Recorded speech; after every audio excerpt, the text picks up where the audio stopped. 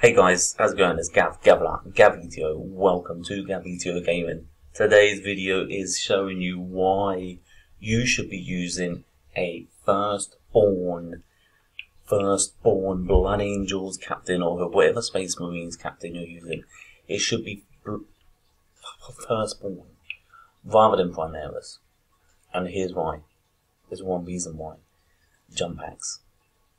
Your Primaris cannot use a jump pack it's got a six inch move. It's you're losing so much movement and so much attack by not having a jump pack. For me, I'm Blood Angels, and uh, everything has jump packs.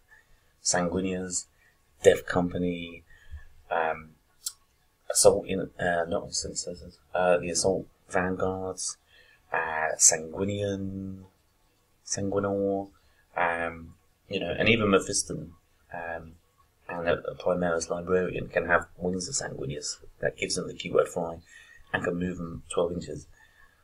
You know, I, I used the Primaris captain with a relic shield.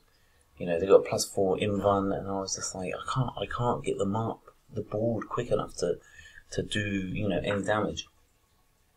Even as making them a Death Guard, um, not Death Guard, Death Company captain.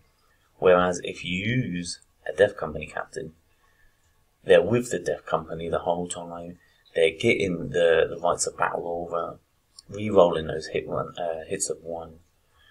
You know, they've got to start his chainsword, but what I did was gave them uh, the Teeth of Terra relic, which is plus three attacks. So you're making up some there. Uh, I think a strength plus one. I think. Um,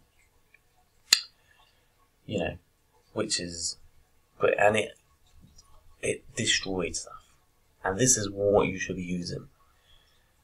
If they suddenly make Primaris uh, troops and captains be able to have jump packs, then fair enough, like crack on. But if you look at the what they hit on, they're both hitting on two plus. They both have the same strength.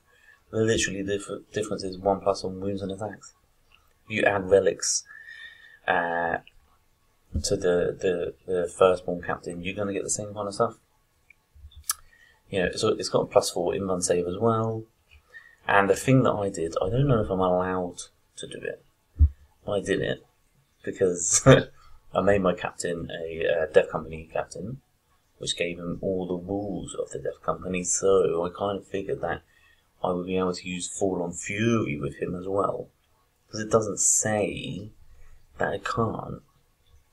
I couldn't find any rules to say that I can't. Um, and it destroyed. I got in there straight up the, the battlefield and started mowing down stuff. Um, you know, and with the plus four invuln save as well, it's amazing.